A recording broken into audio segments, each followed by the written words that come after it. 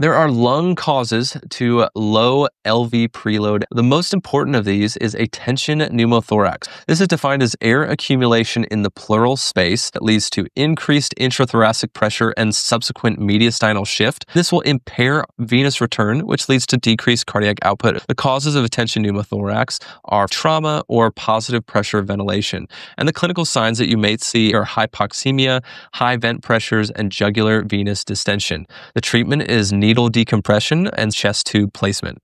What will tension pneumothorax look like on echo? This is one of the few that you cannot definitively diagnose with TEE alone. So it's always got to be in the back of your head as something you're considering, especially if you see an underfilled LV or you're not quite sure what's going on.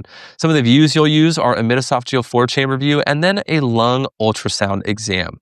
The echocardiographic features you may see with TEE are hypovolemia, where you may just think it's a hypovolemic patient. You may see atrial or ventricular chamber compression, as was seen in this patient in this top picture right here, without clear fluid in the pericardium. If you look at the LV and the RV size, these will be underfilled, and the IVC will be dilated. It won't be collapsing at all because the impaired venous return will cause distension of the IVC.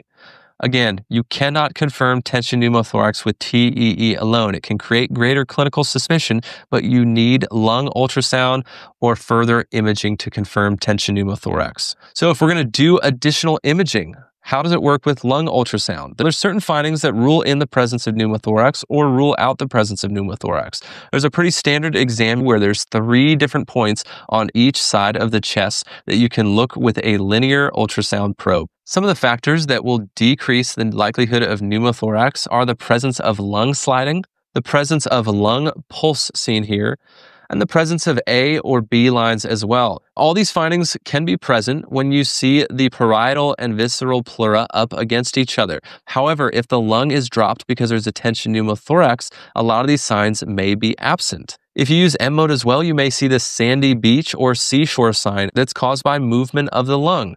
However, if you do the same thing in the presence of a tension pneumothorax, you may see what's known as a barcode sign, where you don't see movement of the lung below it, and it creates this static appearing image.